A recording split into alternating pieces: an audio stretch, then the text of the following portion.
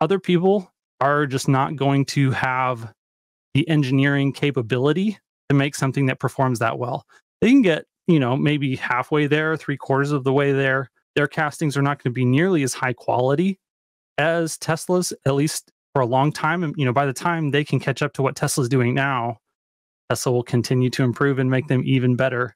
One of the Next. things that's cool about this is that it demonstrates, you know, they understand the manufacturing processes and they, Tesla itself, you know, this is why they own Grohmann Engineering. This is why they have an in house die shop that we'll talk about with the castings. It's not just about the machine, it's not even just about the machine that makes the machine. It's about the machine that makes the machine that makes the machine. So the die shops and their ability, the you know these Grohmann engineering groups that actually perform the automation work and design their own tools.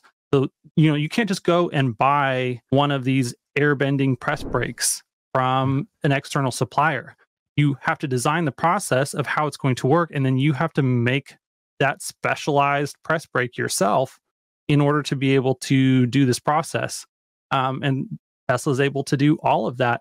And because all those people work in the same company and because it's Tesla and they work in such a tightly integrated fashion, they're talking to each other all the time. And the person who's designing that machine, he can go down to the line and see exactly how it's working and what's wrong with it. Um, you know, this is also the exact same process that they have in place for developing the 4680 lines. And this is something that you just don't see from the legacy automotive manufacturers. They're just hunting that over to another company. They're saying, yeah, hey, hmm. Bosch, can you make this part? And Bosch is the one that has to figure out how to make that part. And they're going to be like, mm, no, none of the stuff that we has does what you want. Uh, you're just pwned. Then the MBAs at Ford and GM, they say, okay, that's fine, thanks. And they don't innovate. They don't make something that's new. They don't push the boundaries. I love it. Thank you for explaining that the machine that makes the machine that makes the machine. Um, and, so Tesla is working on even that part of it. Here's another uh, invention that they did, and what's shocking is they just shared it with the world. They just shared it with competitors. Let's listen to how steel, metal, flows like a river, and why it makes. Yeah, this will be aluminum that they're using in these oh, castings. Yeah.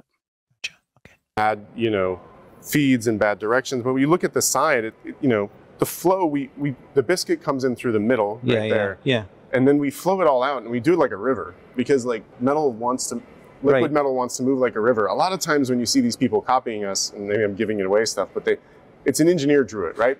And they drew triangles yeah. and trusses. Yeah. Right. But here at Tesla, we have in-house die designers that sit right next to the guys that are designing the castings, and they're going back and forth on simulations so that we can lower the tonnage of the presses we're using by integrating the design of the part into the design of the tool, which is why we don't need necessarily 8,000 ton press for the front. When we started, we thought we would. We said, oh, you're gonna need 8,000 tons. But we worked through the team and we actually can make this front one on the same tool, uh, equipment as we make the Model Ys. That's, Not the uh, rear one. That's amazing. The rear one's too big. Yeah, well. Helps with cycle time too, right?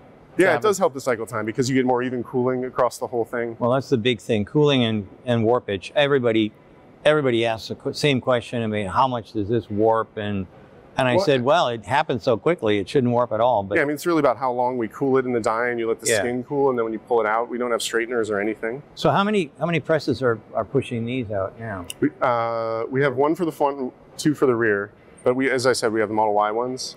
Yeah. So while the big news, of course, was that that shocked us uh, was that they're using the same gigapress for the Model Y as a, the front, anyways, with the uh, uh, the Cybertruck. But actually, the bigger news was what he shared. Like just the marvel of engineering. There's, yeah, there's so many things in that little segment that he just talked about, and um, as an engineer, it just is.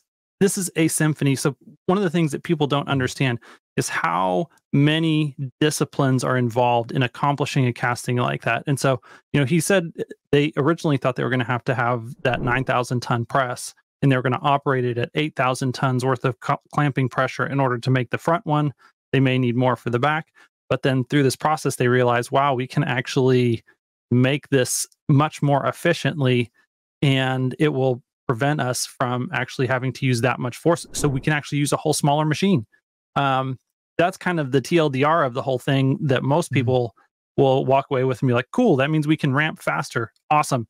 But as an engineer, so many of the things that he said there were fascinating because when you when an engineer designs something, one of the ways that makes it easier to understand how the force is going to flow through that structure, either statically or dynamically, is the more straight lines you have, the easier the math is to calculate how it's going to perform.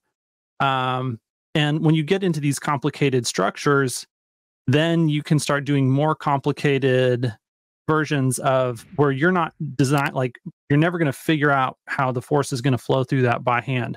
You're going to have to use very complicated simulation software um, called FEA, which is finite element analysis, to see how force is actually transferred through those different things to make sure that every part is strong enough, it has enough material to hold there, and then the there's so FEA is for a solid object, and then CFD is similar to FEA. That's computational fluid dynamics, and that is basically um, FEA for things that are liquid and things that uh, move. So and also gases, and so there is a feedback loop here that involves FEA analysis of how does this casting actually work in practice when we undergo loads of the suspension traveling, you know, like hitting bumps or getting impacted from the side and crash or from the front and crash, all these different scenarios to make sure that this piece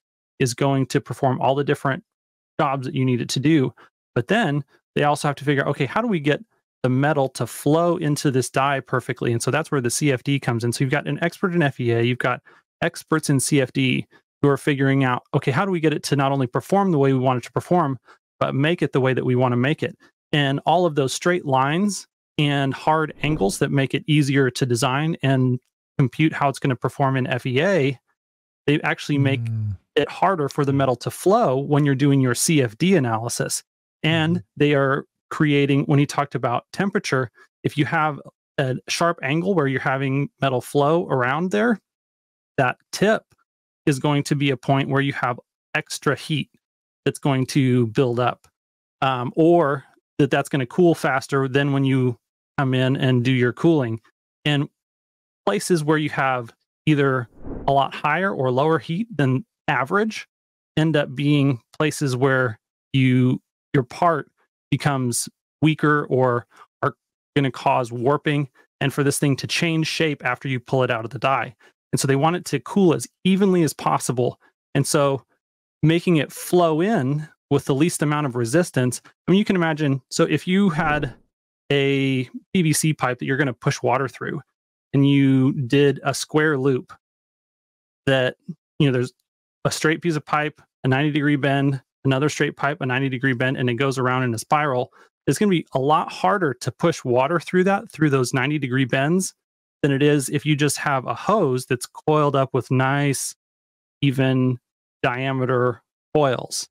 Um, and so the same thing is operating when they're pushing this molten aluminum into this die. And so if they can get it to flow smoother and have less resistance from these corners and things, um, that's why they don't have to hold those two dies together as strongly anymore, is because there's less resistance trying to push it apart.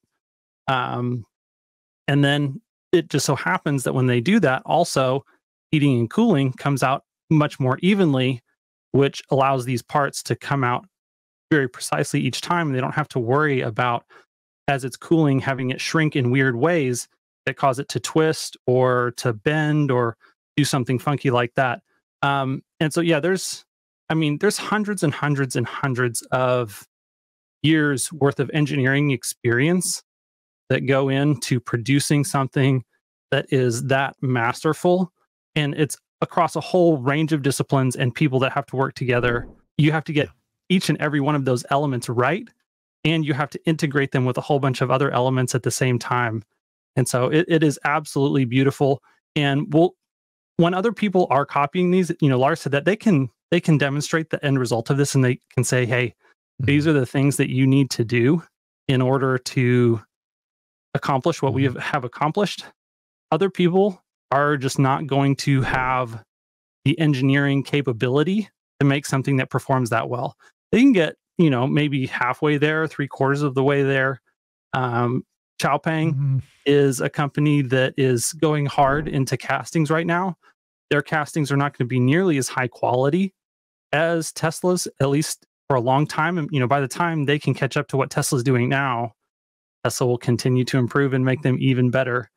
Um, and so that's why Xiaopeng has a 16,000 ton gigapress, whereas Tesla's only using 9,000 ton gigapresses, is because Xiaopeng isn't able to design their castings as well as Tesla can. And so they have to have extra margin. They have to have this bigger machine in order to produce something that performs the same function, but not as well. And they're going to use more aluminum. Their parts are not going to be as high a quality because they are going to have some bending and warping. And, um, you know, if their metal is not as high quality going in, that's another factor. So all of these things, you know, Xiaopeng can make castings, but they're not going to be equivalent to Tesla Giga castings. Um, and the same is going to be true for you know anyone. And the other piece is going back to the vertical integration that the people that are doing all of that incredible simulation to make sure that these parts work perfectly when they design them and that the dimensional accuracy is there.